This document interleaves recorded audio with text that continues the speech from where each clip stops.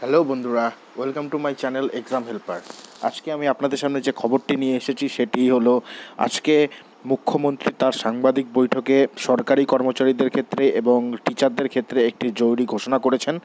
বিশ্বের চারিদিকে করোনা ভাইরাসের যে দাপট চলছে, তার মধ্যেও এই ঘোষণা সত্যি তাৎপর্যের বিষয়।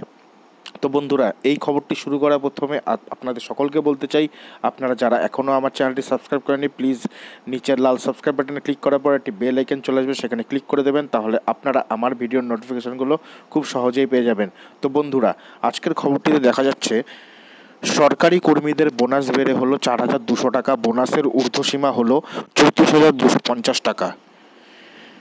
সেখানে বলা হয়েছে, রাজ্যের কোষাগারের কঠিন পরিস্থিতির মধ্যেও সরকারি কর্মচারীদের জন্য বড় ঘোষণা করলেন মুখ্যমন্ত্রী মমতা বন্দ্যোপাধ্যায়।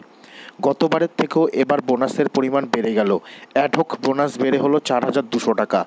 উৎসব অগ্রিমও বেড়ে দশ হাজার টাকা। এর জন্য রাজ্যের বাড়তি চারশো কোটি টাকা খরচ হবে। কেন্দ্রের বঞ্চনা সত্ত্বেও রাজ্যের মানবিক মুখ, বললেন মুখ্যমন্ত্রী। বাড়ল বোনাসের ঊর্ধ্বসীমাও বোনাসের ঊর্ধ্বসীমা তিরিশ হাজার থেকে বেড়ে চৌত্রিশ হাজার দুশো পঞ্চাশ টাকা করা হয়েছে। মুখ্যমন্ত্রীর এই ঘোষণায় বলে উপকৃত হবেন রাজ্যের দশ লক্ষ মানুষ। তো বন্ধুরা, দেখা যাচ্ছে করোনার এই ভয়াবহ পরিস্থিতিতেও আমাদের রাজ্যের মুখ্যমন্ত্রী শ্রী মমতা শ্রীমতী মমতা ব্যানার্জি সরকারি কর্মচারীদের জন্য চার হাজার দুশো টাকার বোনাস ঘোষণা করেছেন এবং এর ঊর্ধ্বসীমা রেখেছেন চৌত্রিশ হাজার দুশো পঞ্চাশ টাকা।